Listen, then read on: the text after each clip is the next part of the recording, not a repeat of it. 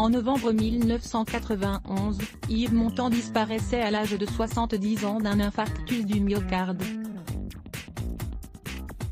Connu pour sa carrière hors norme mais aussi pour sa relation avec l'actrice Simone Signoret, l'acteur n'a eu qu'un seul enfant, Valentin, né de sa relation avec Carole Amiel, une jeune assistante qui fut la dernière femme de sa vie. Si Valentin n'a quasiment pas connu son célèbre papa, il a aujourd'hui fondé sa propre famille.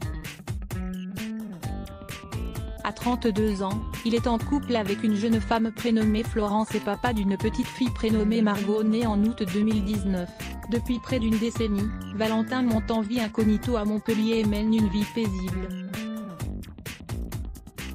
Au cours d'une interview exclusive accordée au magazine Paris Match, le fils d'Yves Montand a révélé qu'il a pu réaliser un rêve grâce à l'argent hérité de son père. Il y a trois ans, le jeune homme a ouvert un institut de formation aux jeux vidéo, YAD 3D.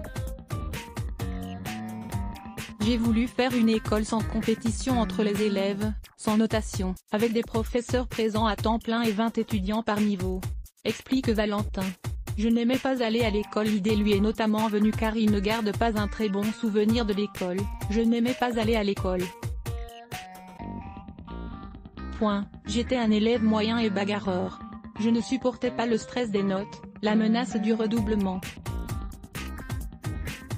Une situation qui l'a poussé à se réfugier dans les jeux vidéo, petit, à cause des histoires autour de mon père, je trouvais le monde extérieur corrosif, j'étais solitaire, casanier. Le jeu vidéo a élargi mon horizon. Se justifie Valentin Montant. Le père de famille qui ne se confie que très rarement en a profité pour déclarer qu'il souhaite transmettre le souvenir de son père à sa fille, je lui fais écouter les feuilles mortes et trois petites notes de musique, je lui montrerai la folie des grandeurs. Je lui parlerai de lui. Ça ne sera pas difficile, il y a tellement de belles choses à dire sur son grand-père a-t-il expliqué. Aliénor de la Fontaine à lire aussi à Block Test.